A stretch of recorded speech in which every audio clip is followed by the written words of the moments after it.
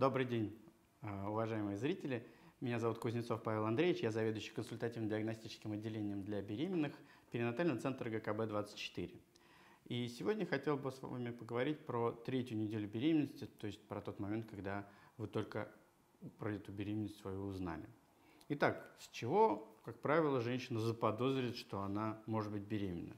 Как правило, первая мысль такая возникает, когда у женщины происходит задержка менструации. То есть в положенный день, в тот день, когда женщина ждет менструацию, менструация не приходит. О чем это может говорить? А, о том, что в середине этого цикла произошло оплодотворение, на, э, после этого оплодотворения через 7-8 дней плодное яйцо внедрилось в стенку матки и началась беременность. В такой ситуации гормоны, которые вырабатывает уже эмбрион, не дают произойти менструации и э, продолжат э, дальше беременность развиваться уже без э, кровянистых выделений, без э, вот этих вот регулярных э, отхождений внутреннего слоя матки. Итак, менструация не пришла, и как можно подтвердить, есть беременность или нет? Может быть, это связано с какими-то другими причинами, потому что нарушения менструального цикла могут быть по многим разным причинам.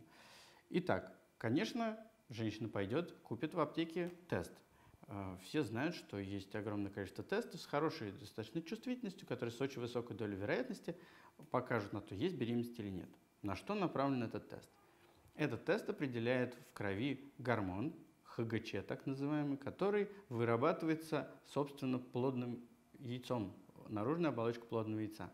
То есть, пока беременности в организме нет, пока нет плодного яйца, который прикрепил к стенке матки, этого гормона в организме женщины нету в принципе. И поэтому его появление в моче, даже в очень небольшом количестве, достаточно для того, чтобы подтвердить факт наличия беременности. Соответственно, если тест положительный, то следующим этапом женщина должна сделать что? Конечно, пойти к врачу. И, и врач четко определит дату проведения ультразвукового исследования. Потому что если женщина сразу же побежит делать ультразвуковое исследование в первый же день задержки, для того, чтобы подтвердить, есть у нее беременность или нет, то это как правило, приведет к тому, что на УЗИ ничего не найдут. Плодное яйцо слишком маленькое, чтобы его увидеть. И это добавит дополнительной нервозности для пациентки. Она будет э, волноваться, есть беременность, нет беременности. Кроме того, ультразвук на ранних сроках беременности делается еще и для того, э, чтобы не только подтвердить срок э, беременности, наличие ее и срок, ну и чтобы уточнить, что беременность развивается именно в матке, потому что есть такая серьезная патология, как внематочная беременность, которая чревата достаточно серьезными осложнениями. И это надо обязательно исключить. На, когда у вас 2-3 дня задержки, не, это исключить еще совершенно невозможно. Поэтому на своей вот этой третьей неделе беременности ультразвук делать пока еще не нужно. А, врач четко вам определит дату. Как правило, это надо делать, когда задержки ну хотя бы 7-10 дней. А, тогда уже есть шанс увидеть плодное яйцо, э, четко определить, где оно располагается, в матке или вне матки. А, а иногда уже там на следующей неделе беременности можно будет увидеть даже уже и эмбриончик.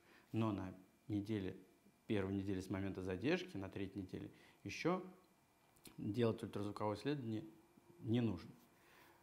Э, что может при этом происходить с вашим состоянием? Какие изменения вы можете почувствовать? Может начать проявляться токсикоз, он может начать проявляться практически сразу же с самого начала беременности, хотя, как правило, все-таки он возникает позже.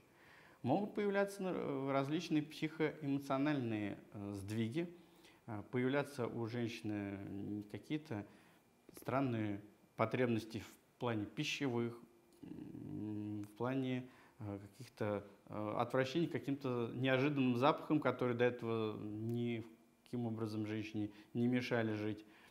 И, вот эти изменения женщина, как правило, очень четко сама замечает, что что-то не так. Иногда у нее начинается какая-то неожиданная раздражительность, иногда, наоборот, плаксивость, иногда э, какой-то слабость и сонливость. Все эти изменения являются проявлениями э, такого физиологического раннего токсикоза беременности, который является одним из симптомов беременности, одним из ее проявлений.